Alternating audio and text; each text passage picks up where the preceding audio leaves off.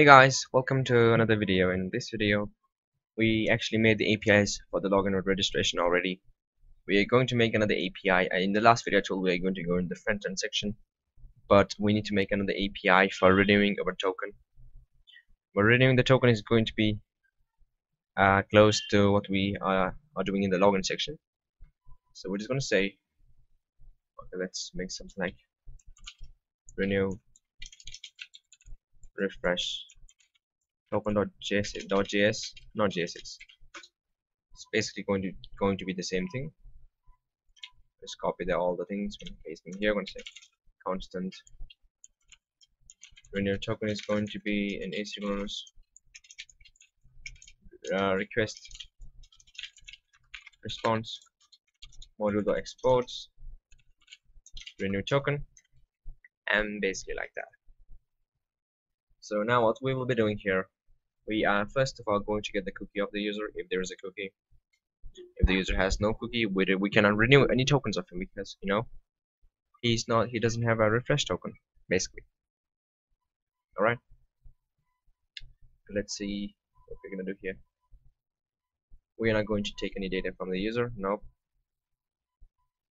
Nope no data like that. So we basically are just going to say uh, constant cookie is going to be called the request of cookies. Okay? Now here we need to have a kind of condition. So we have to say if user has cookies then only we want to proceed further. If user doesn't have any cookies then uh, sorry my, my boy we cannot proceed proceed further. So we'll just say if cookie or dot refresh token is there dot cookie dot refresh token basically I'm gonna say. Then we want to proceed further okay? Then we want to go into this section and then here we want to do something that we will that we will be doing. All right so now once we know this is the cookie section okay we can do another thing to provide this thing. I'm gonna say if there's no cookie we're gonna say return response to JSON. Status as zero. I'm send a message. We can say uh, no cookie found. So basically we're just going to take the user to the login section. And if that's not the case that means we have the cookie. Now what we're going to do we're going to say constant uh, find user is going to be equal to await user dot find one where refresh token is going to be equal to cookie dot refresh token okay? So we're gonna find the user. Now we let's say we couldn't find any user like that means basically this guy is using a refresh token that has been expired all right? My boy is trying to do a lot of things. Say if not find user? Then we want to go in here. What we want to do first of all we want to uh, do one thing. We want to have a jw dot verify. It's the same thing that we did in login basically we're gonna have verify our cookie dot refresh token with the process with our secret key process the env dot uh, refresh secret key. We get the error and uh, we get the decoded JWT token. when I say if error that means basically once we get thrown an error. So what does that basically mean? It means this cookie is invalid this cookie doesn't work. So we will say yeah okay if this cookie is invalid then um, we don't have an issue right? We're gonna clear the cookie anyway. We're going to say return if this is the thing. If this is not the thing let's get the hacker user. Is going to be our await user dot find one where the underscore where the guy with underscore id is going to be. Decoder.id then I'm going to say hacker user dot refresh token is going to be an empty array like we did before. And I'm going to say oh, await hacker user dot save. And after exiting this function we need to make this one asynchronous I'm going to say response dot clear. Cookie. Is going to be process dot dot okay refresh cookie name. Oh basically just refresh token. That's they are the same thing. Alrighty so we got the things. Oh, okay. You can hear it say okay nice. Now what we're gonna do? We got this thing right here. Now let's go out of this. Now we're saying yeah we found the user actually okay? Now what we want to do we want to delete his old cookies. So you're gonna say uh, just copy these things. A little bit of helping hand maybe. Okay good. And we don't need actually to have this thing right here. I mean we can but we it's also okay to keep it on top. Just for early checks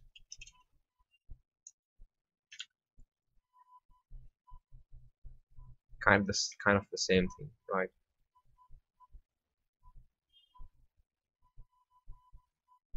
So after doing this we're gonna do the same basic thing. We're gonna have a new refresh token new things new refresh array. We're gonna save the new refresh token array just as we did before. Okay we don't have any refresh token. We didn't make any refresh token like that. I'm gonna say constant refresh token is going to be cookie dot refresh token and there we go. We should have thing other than saying connected we need to say find user.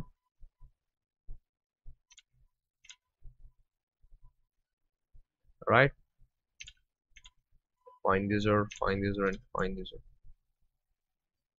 And after doing this we can just say response cookie is going to be the name of process dot imi dot refresh cookie name.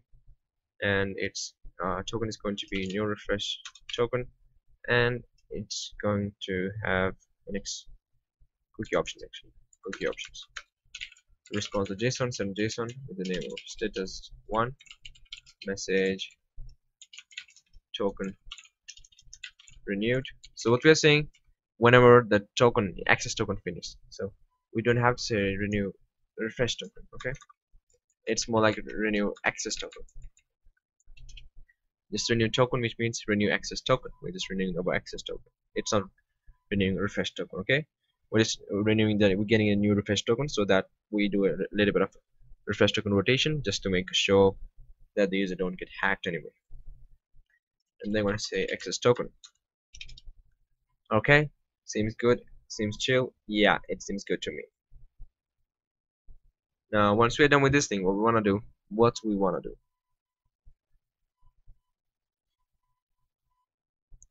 okay everything seems good. Now we will okay validate. We don't need a validation actually. And we don't need the bcrypt thing actually. Okay now we need to make another one which is going to be verified token. Name it as verified token.js we can call this one as renew token with the r small. So basically verified token is going to do what? Okay verified token is just going to verify our tokens. Like we're making some requests on any page or we're having any post request stuff like that. We'll first of all put this middleware right there. We'll first of all put this verify token middleware in all of our requests. So what is this middleware going to do? Well I will show you. What a constant verify token is going to be an over asynchronous function. It's going to take request response and next function because this is going to be a middleware middleware function. So it's going to have the property of next okay? We just want to say okay move on move ahead. If token was not verified we don't want to move ahead. We just want to say yeah send the response back something. Token was not there token was not here blah blah stuff like that. You got me? Good.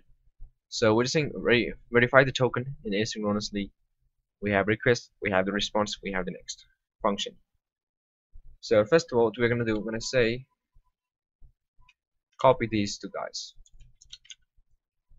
Once we copy these two guys what we are going to do first of all okay we don't need actually JWT because there's going to be condition. We are not going to send our refresh token everywhere. We will be sending our refresh token everywhere but that refresh token will only be used to generate other uh, access tokens like we did before. Here what we did if we find the user then only we want to proceed further okay? One second. Let me see what we did here. I guess we messed up messed up somewhere.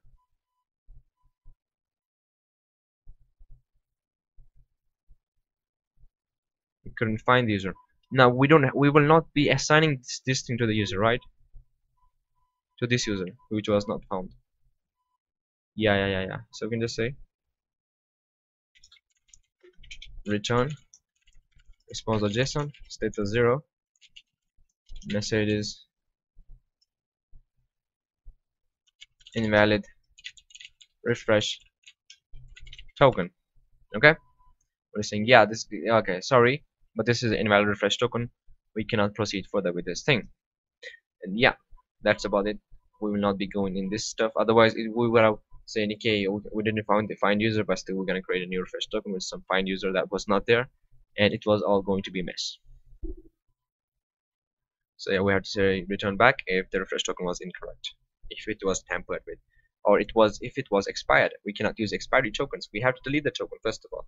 We don't want to keep that token we don't want to keep the cookie refresh token cookie which was expired with it. Now here we have to say verified token. So we need to verify the access token how will we, we will be sending the access token to the server. We will be setting it using an header. We'll set a header with the name of authorization and it goes like authorization bearer stuff uh, something like that.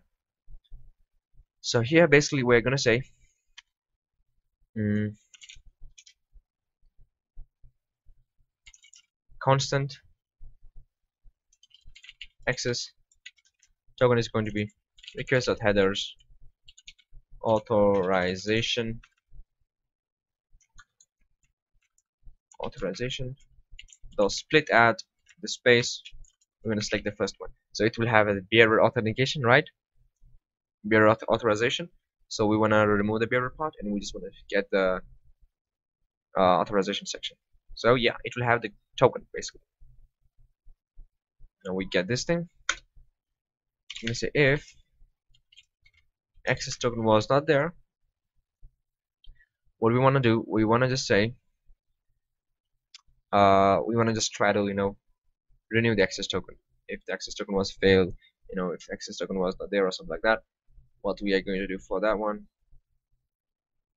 we're going to send them some kind of response so they will actually renew the access token. And then try to do the thing again. Okay.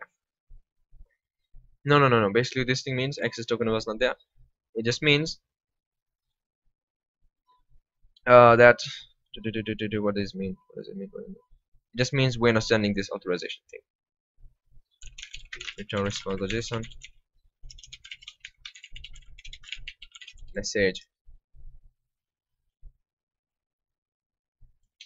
Access token not found. Okay. But if it was found I'm gonna say jwt. Oh wait. Jwt dot constant user okay well, constant. User id is going to be await not actually await. We're going to say jwt dot verify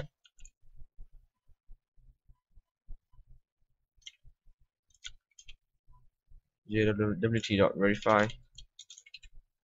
Our access token with uh, our process.env dot access secret key I get error and the decoded message we want to say if error then return null. Otherwise we want to say return of a decoded message. So we want to say if user underscore id is equal to null then what we want to do?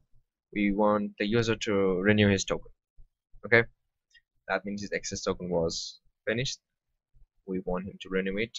How do we renew it? By ourselves maybe we can call the renew token function by ourselves can we? Um not sure.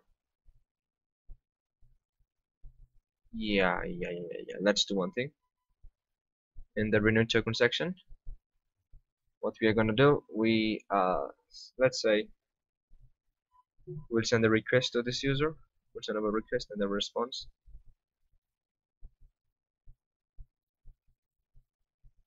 Whatever it's just going to do we'll let it do its thing. Okay let me just think about think about this thing.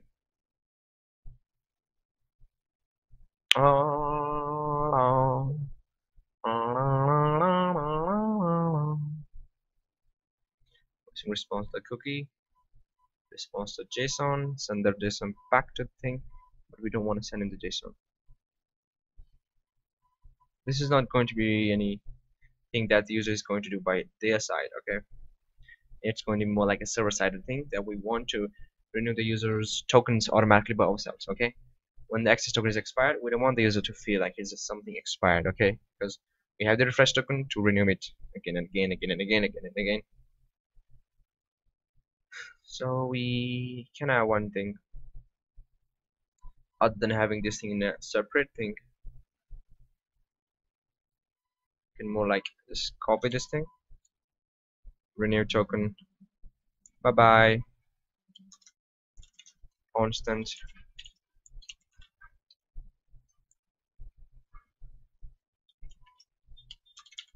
More like yeah we're gonna put it here. Once it's done we don't want to give him the actual response right?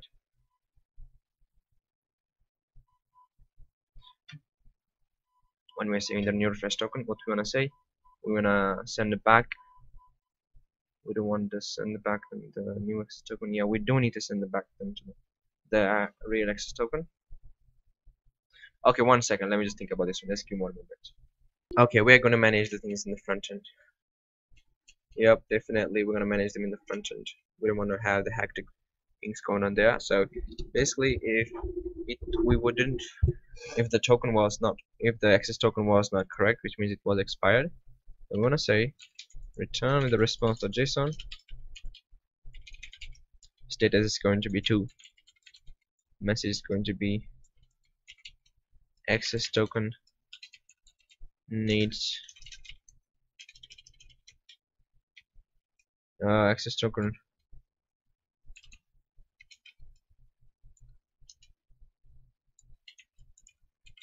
Renewal needed. If something like that that was not the case.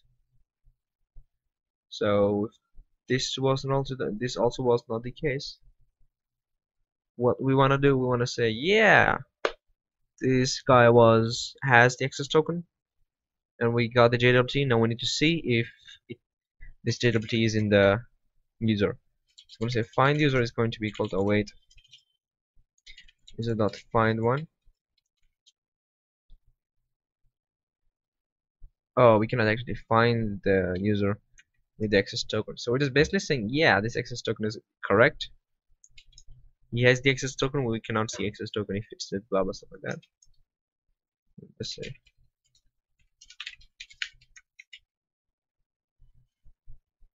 okay I hope this thing actually works because I'm not sure. You can do those those two things. Again once module export is going to be equal to verified token? Imports we need to import two things. First of all it's going to be renew token. Another one is going to be verify the token. So we just renew token is just renewing both the tokens the refresh and the access and the verify token is going to just verify the access token. So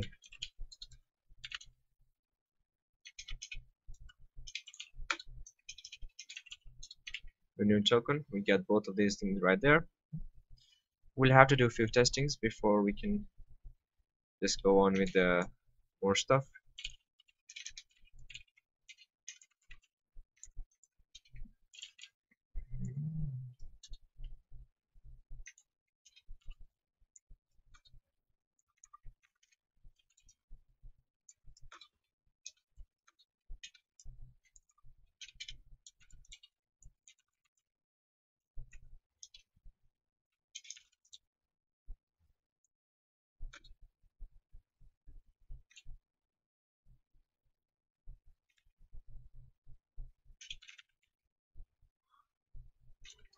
verify token. Okay. So I guess guys it's time for starting the testing. Let's do one thing. Let me just delete every single thing we have here. Let me go to collections. Let me just make a new collection. With the name of applications in the collection we're going to make a new request it's going to be for the register request. Going to be a post request. Http colon dash dash localhost 5000 slash authentication slash register. Going to make a new request. Going to be login. Login going to make a new request. Going to be verify token. Verify token. Okay so now we need to give the data. Body is going to be having username. And it's going to have a kind of like an email At gmail.com you'll have a password. Test one to one. Copy thing. Save it first of all. Paste it. Get rid of the username. Save it in the verified token. We don't need anything. Exactly. Let's do a send. We get the thing. User created. Let's do a login send we get the thing user has been logged in. Let me do a refresh. We get only one token. Let's do a send here. Okay floors disconnected. Split. Cannot read properties of undefined oh yeah here we need to send our access token. Oh my bad. Authorization. Let's say bearer. And our access token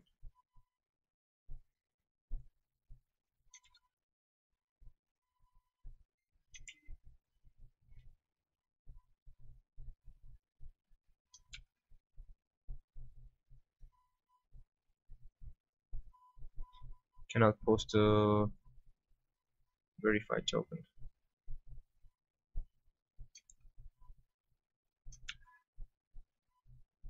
Alt slash verified token. Why cannot I post? 404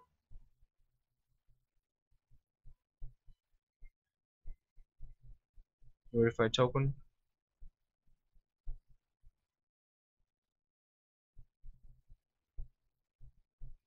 Oh, not verified token. I mean to a renew token.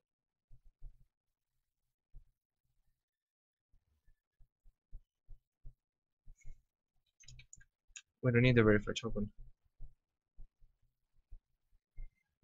And maybe we can just keep it there, but actually we don't need it. So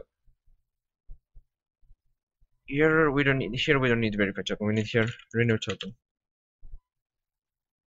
Token renewed okay good. We get this new access token. Using our old token. Okay. let me do a refresh here there's a lot of confusion. So we have here VY I'm going to send request. We get a different access token. I'm going to do refresh. VY we had VY before. We have 94 9 that's good. So it means this uh, renew token is actually working. It's rotating our refresh token also. And it's also providing us with a new access token to be used okay so basically we're saying, yeah, our access token has been expired. We are not able to use it anymore. So what do we do? Well, here is a solution. You have to do this thing. Okay. Let's call for the renew token. Give us a new renew token.